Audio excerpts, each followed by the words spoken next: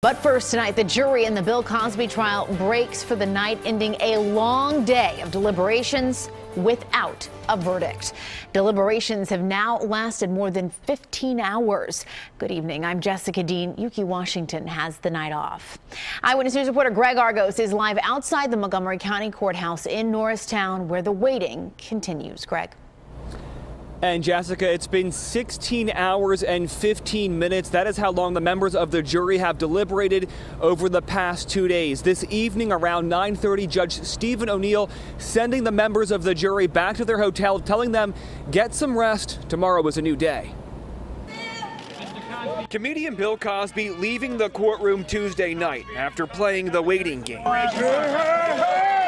So far, 12 jurors spent more than 15 hours behind closed doors, seven men and five women from Allegheny County, who will determine whether or not the 79 year old could spend the rest of his life in jail. He's holding up. His spirits are good. Uh, he is, you know, being Bill Cosby.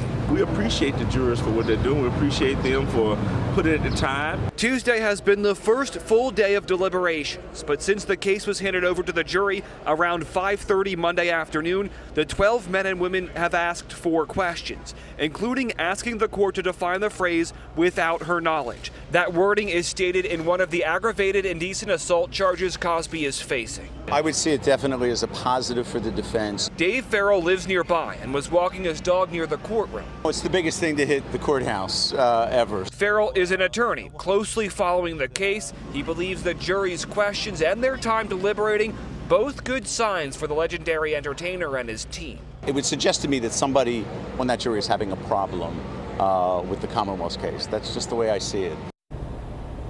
Now, I did speak with Brian McMonagle. He is Bill Cosby's defense attorney as he was leaving the Montgomery County Courthouse here this evening around 10 o'clock tonight. I asked him what he thought about the jury deliberating for more than 16 hours. He simply responded, This is a hardworking jury. Once again, the members of that jury, seven men, five women from Allegheny County, back here tomorrow to continue their deliberations at 9 a.m. We're live here at the Montgomery County Courthouse. I'm Greg Argos, CBS 3 Eyewitness News.